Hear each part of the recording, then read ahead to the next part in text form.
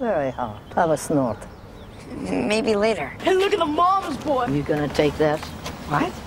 Hey, you boys! Come back here and say that. Grandma, what are you doing? Who's this? You're not your own bodyguard? No, it's okay. She's kidding, Grandma. Oh, jeez. I don't know why you won't tell me who did this. You know, there's no honor in protecting a bully. Okay, it's your face. Mom, do you, do you like your parents? Doesn't matter how I feel about them. It's not like I can trade them in for someone else. You can't pick your parents. You're pretty much stuck with who you get. I know. Anyway, they're certainly not going to change. Things get too difficult, at least I can be grateful that soon they'll be gone. Back to their own home.